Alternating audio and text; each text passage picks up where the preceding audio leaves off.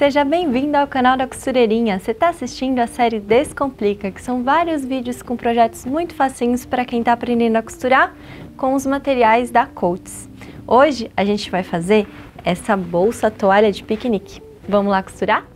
Para fazer essa peça, você vai precisar de velcro, algum objeto redondo como uma tigelinha ou um pires, alfinete cabeça de vidro, hashi, tesoura para tecido, fita de viés, fita métrica, marcador de tecido, zíper, linha para costura, tesourinha de arremate, régua quadriculada e tecidos. A medida dos tecidos e dos outros materiais você encontra na descrição do vídeo. Para a gente que está acostumado a fazer projetos pequenininhos, quando a gente encara um projeto dessa magnitude, dá um certo medinho de cortar. E com razão, porque para você fazer um quadrado de lados iguais de 1,42m, sem uma mesa apropriada de corte, é muito difícil mesmo. A gente acaba tendo que colocar no chão, em cima da cama, meio solto, assim, mal ajambrado na mesa de jantar, e acaba que não fica tudo certinho. Então eu vou ensinar para você um jeito mais simples de cortar tecidos grandes desse jeito. Então eu peguei o tecido grosso, que é a base da toalha de piquenique, e eu posicionei, ó, ourela com ourela, tá? Dobrando para que ela fique no sentido da altura do tecido. Isso facilita um monte. Feito isso, eu vou dobrar o outro lado. Então, eu vou dobrar a altura do tecido para baixo. O mais importante é você fazer bastante carinho no tecido para que ele fique super plano, para que não tenha emaranhados, não tenha amassados que vão te atrapalhar daqui para frente. E também alinhar as dobras, tá vendo? Ó, essas dobras aqui tem que estar tá uma por cima da outra. Tá tudo certo? Vamos marcar. Eu quero cortar aqui 1,42m. A metade de 1,42m é 71 centímetros. Então eu vou pegar minha fita métrica e eu vou marcar da seguinte forma. Lá da dobra para cá, eu vou marcar 71 centímetros. Fiz a primeira marcação, eu vou fazendo várias marcaçõezinhas aqui para poder ter uma linha reta. Fiz esse lado, agora eu vou fazer o outro lado. Eu venho da dobra de lá para cá. O segredo é esse, sempre da dobra. Depois de fazer as marcações com a fita métrica, você vai ligar os pontos.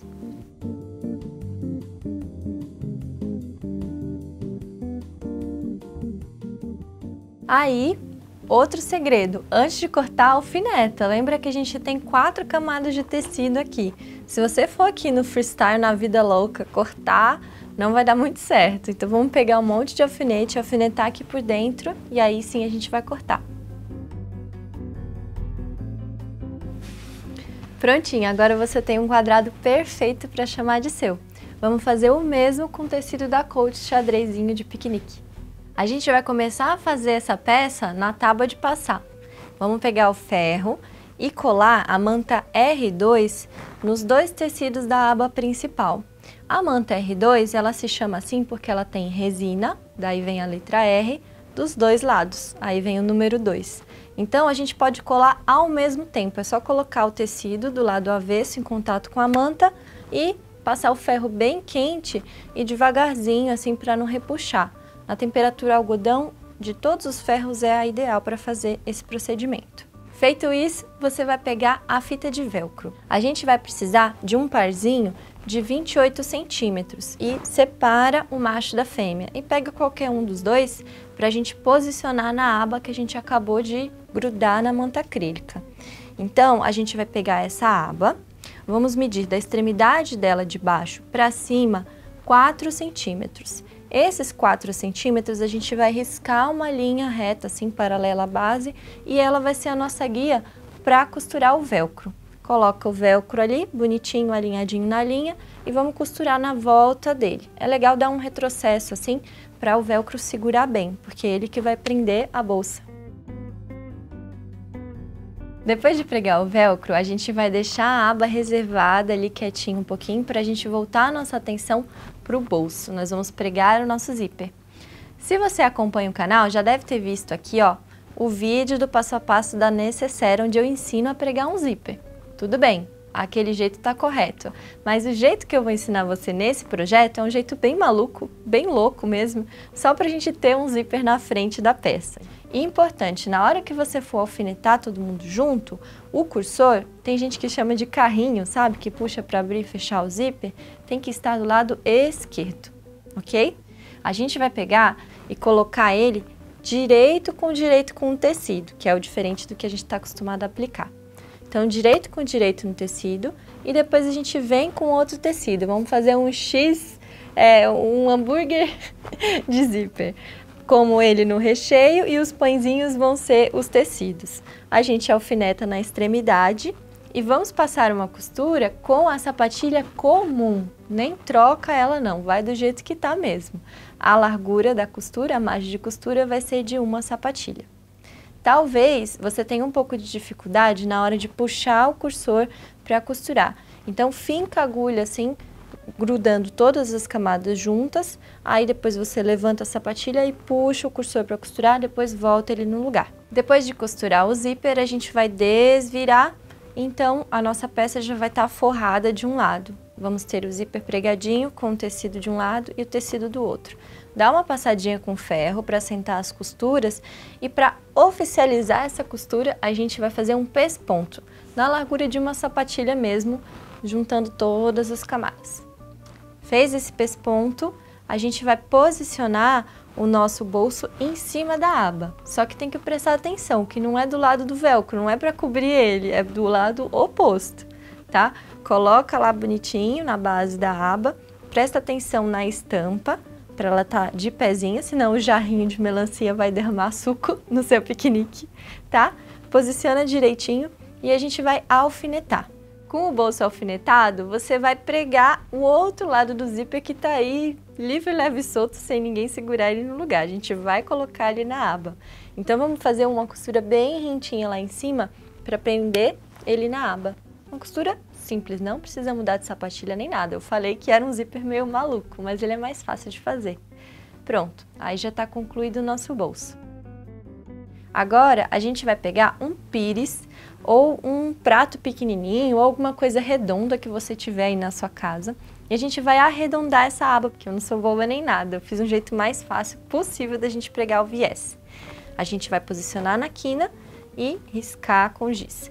Posiciona na outra quina, e risca com giz. E nós vamos cortar fora, arredondando somente esse lado do bolso, não precisa arredondar o outro não. Agora a gente vai preparar a alça da nossa aba, que é por onde a gente vai segurar a bolsa no final. A gente vai no ferro pegar a faixinha e vamos fazer uma espécie de origami. Eu já fiz vários vídeos aqui no canal, sempre fazendo alças dessa forma. Mas se você é novo por aqui, eu vou explicar. Ó, você vai dobrar a alça ao meio, no sentido do comprimento. E vai passar para fazer um vinco. É como se fosse um origami quando a gente vinca assim com a unha, para poder ficar uma marquinha de guia. Abre a alça depois de passar, joga para dentro um lado e passa, joga para dentro outro lado e passa e joga todo mundo para dentro de novo. Assim você vai ter uma alça rapidinha de fazer e ela vai ter quatro camadas de tecido, então ela fica super resistente. Depois você só precisa passar duas costurinhas, dois pespontos, um para fechar e o outro para decorar no outro lado. Agora que a alça tá bonitinha, a gente vai pregar na aba. Como que a gente vai fazer isso? Vamos medir a partir do zíper 3,5 centímetros para cima e a gente vai traçar uma linha paralela. Essa linha eu quero que você use algum marcador de tecido que seja removível.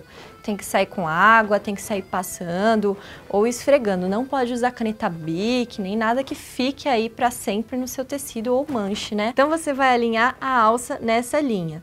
Só que você vai reparar que a alça é um pouco mais larga do que a aba. Não tá errado, é assim mesmo, porque ela vai ficar com um andarzinho, ela vai ficar mais altinha para você poder segurar. Então você vai alinhar ela nas laterais e deixa sobrar o que tiver que sobrar no meio, tá? Aí você alinha a alça nessa linha guia que nós desenhamos. Pelas laterais você joga a alça para dentro. E aí nós vamos desenhar com esse mesmo marcador de tecido removível um X. Como que vai funcionar isso? Você vai medir da extremidade da alça para dentro 7 centímetros. Medir 7 centímetros vai fazer uma linha reta ela vai ser transversal à sua alça. E aí, dessa linha para a extremidade, você vai fazer um X, assim, bem longo mesmo, que é para prender bem presa essa alça, ela não soltar. Alfineta tudo no lugar. No outro lado, você vai fazer a mesma coisa. Vão ser linhas guias para você costurar. Aí, a gente vai para a máquina, costurar em cima dessas linhas. E eu tenho uma dica, a gente começa do X. A gente vem de baixo, faz uma lateral do X, faz essa linha transversal, volta fazendo X e para arrematar, a gente passa por cima dos pespontos das alças, só para dar uma reforçada extra na alça. E pronto, corta a linha, já está pregado e faz o mesmo do lado oposto.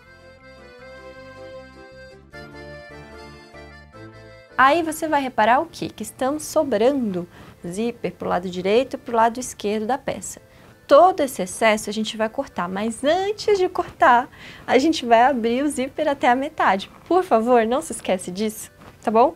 Abre ele até a metade e corta, porque senão o cursor vai cair, você vai perder todo o trabalho que a gente fez até agora, tá bom?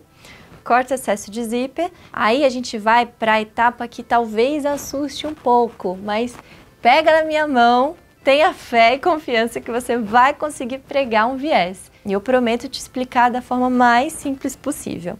Nós vamos usar o viés pronto, que ele já vem com duas dobrinhas, então facilita muito na hora da costura. Esse viés é de 35 milímetros, ou seja, de 3 centímetros e meio. Não compra o viés mais curtinho, assim, nem muito grande, porque fica mais difícil de aplicar, principalmente se você está começando na costura, tá bom? Então a gente vai começar do lado avesso da aba, que é o lado onde o velcro está pregado. Como ele tem duas dobrinhas, a gente vai abrir uma só. Abre uma, encosta direito com direito na extremidade e vai alfinetando em toda a volta, toda a volta. A gente vai passar por cima do zíper, a gente vai passar por cima da alça, a gente vai passar por cima do bolso. Vai ser muito esquisito, mas vai dar certo, confia em mim. Vai passando, vai alfinetando e pronto. Prepara a sua peça com vários alfinetes e vamos para a máquina costurar em cima do vinco. Não é uma sapatilha, não é um centímetro, não é nada. Sabe aquele vinco da dobra que ficou porque a gente abriu? A gente vai costurar em cima dele. Dá aquela conferidinha marota, vê se o zíper não torceu, vê se a aba não tá estranha, se não deu nenhum franzido, porque agora é uma hora que dá para corrigir ainda. E aí sim, você vai dar o acabamento na peça. A gente vai trazer o viés do avesso para o direito e o mais importante aqui, a dobrinha tem que casar exatamente em cima da costura que a gente fez antes. Se você observar esse detalhe que eu falo exaustivamente nas minhas aulas, a sua costura vai ficar incrível. Agora, se o seu alinhamento não ficar muito legal, pode ser que do lado direito fique bonito e do avesso pegue no tecido ou fique fora do esquadro ali, fique esquisito. Então, na hora que você for virar para o direito, toma cuidado para que a dobra fique sobre a costura que você acabou de fazer. Alfineta, e se você tiver com tempo, dá um alinhavo à mão, sabe aquela costurinha bem folgada? Para segurar ele no lugar. Aí, pelo lado direito agora, a gente vai costurar com pontos bem rentinhos toda essa volta.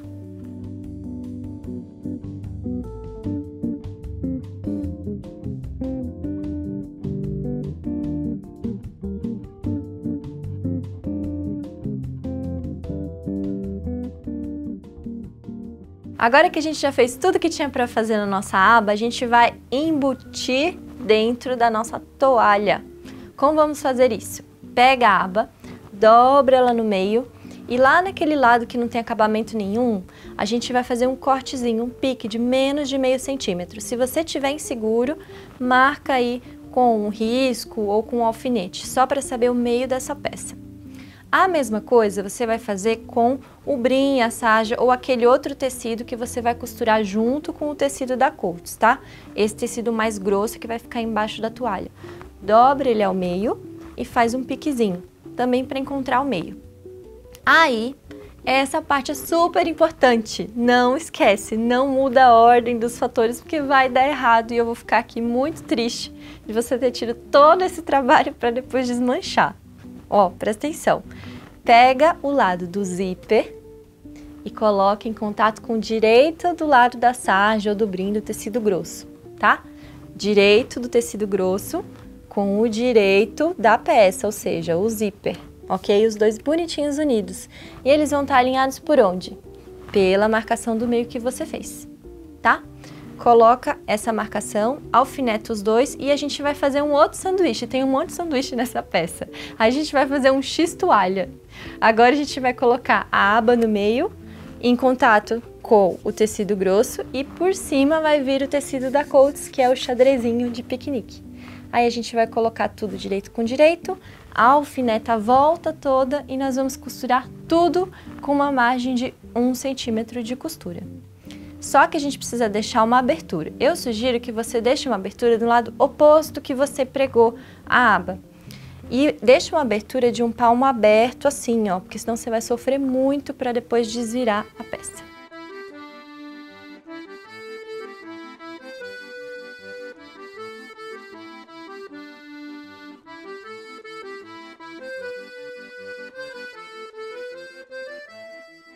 Costura tudo, deixou a abertura, você vai cortar os quatro cantinhos, como a gente sempre faz nessas peças quadradas.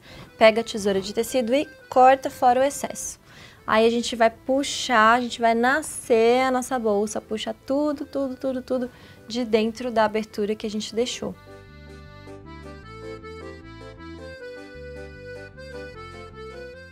ajeita, faz aquele movimentinho ó, que a gente já conhece de chamar dinheiro, vai jogar o tecido grosso para o lado do grosso, tecido da Coats para o lado do tecido da Coats, deixa tudo alinhadinho e aí você vai jogar a abertura que a gente deixou para dentro. Alfineta se você for de alfinetar, passa se você for de passar e vamos costurar a volta toda e dessa vez é toda assim, que é para fechar a abertura e fazer um pesponto bonitinho na volta toda, bem rentinho. Pode ser uma sapatilha, mas eu aconselho que seja um pouquinho menos. A toalha e a aba já estão prontas. Agora para transformar tudo isso numa bolsa, a gente vai fazer uma série de dobraduras. A gente vai estender no chão ou na mesa, se você tiver uma mesa grande, e a gente vai dobrar para dentro, o tecido da Coats, até o tecido chegar na aba. Do outro lado, você também vai puxar até chegar na aba. Depois, você vai jogar para dentro da região da aba, para dentro da região da aba, até que a sua toalha ela vire um, uma faixona assim grossa. E aí você vai dobrar como a gente dobra lençol quando está com outra pessoa junto, que ela, a gente junta assim as pontas. Então junta as pontas, depois junta novamente até que vai ficar um rolo bem pequenininho. E aí você cobre tudo com a aba. Cobriu com a aba, você vai ver onde que o seu velcro está batendo. O meu velcro acabou ficando posicionado a 27 centímetros da aba para dentro do tecido grosso, tá? Mas eu acredito que como cada um dobra de um jeito, seja melhor você dobrar e ver onde que vai cair o seu velcro, tá? Marca ali com alguma caneta removível, um marcador específico para tecido. E aí lembra o outro lado do velcro que a gente deixou ali solitário, coitado, esperando a gente chegar nesse momento? Então, esse lado você vai pregar aí no tecido vermelho, no tecido grosso, tá? Essa costura do velcro vai acabar pegando em todas as camadas, mas não tem problema, porque a gente está usando a linha vermelha, então vai ficar ali mesclado, confundido com o tecido xadrez e com o tecido grosso vermelho também, tá bom? Quando você for costurar o velcro do outro lado da bolsa, dá uma olhadinha para ver que talvez você tenha que diminuir a largura dele um pouquinho. O meu eu precisei diminuir de 28 para 25, porque lembra que a gente usou um pratinho para fazer aqueles cantos arredondados? Então isso acabou cortando um pedacinho ali do velcro. Dá uma olhadinha para ver se não vai ficar sobrando para fora da bolsa, tá? Se precisar diminuir um pouquinho, mas assim, só um detalhezinho para que a peça fique mais caprichosa.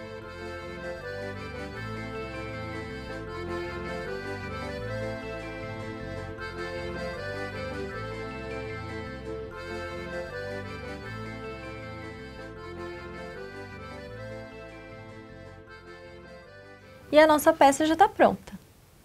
E aí, gostou de fazer esse projeto? Eu acho ele muito legal, principalmente para quem está começando a costurar e nunca se aventurou em tecidos muito grandes. É um projeto que tem 1,40m de largura né, dos dois lados, então é uma maneira legal de você começar a praticar com tecidos maiores e também com tecidos mais grossos, como a saja e o brim. Se você já sabe costurar um pouco mais, já tem um pouco mais de desenvoltura na máquina, eu sugiro que ao invés de colocar a brim, você substitua pelo plástico cristal. porque assim a sua bolsa toalha vai ser impermeável também. Mas se você é iniciante, segura essa emoção, volta uma casa, faz esse projeto do jeitinho que eu falei aqui, que é para não dar nenhuma confusão, você não se embananar. Porque a tendência do plástico é ele grudar na máquina. Então dá bastante dor de cabeça se você não tem muita experiência na costura. Outra coisa que eu acho muito legal nesse projeto é que além de ser uma toalha de piquenique, ela tem esse zíper aqui. Então não sei você, mas todas as vezes que eu vou fazer um piquenique ou um evento assim ao ar livre, eu fico super preocupada com os meus documentos, celular, carteira, essas coisas. Então você pode colocar essas coisas mais valiosas dentro do zíper, esconder a abinha por baixo e assim, ó, você curte seu show, seu evento, sua festa e ninguém vai saber que você tem nada escondido lá dentro.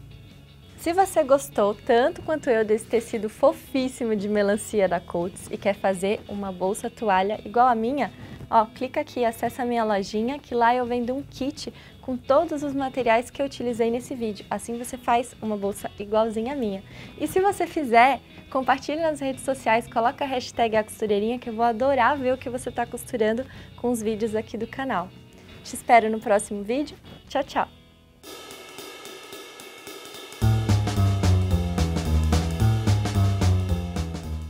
vai fluir, eu tenho certeza.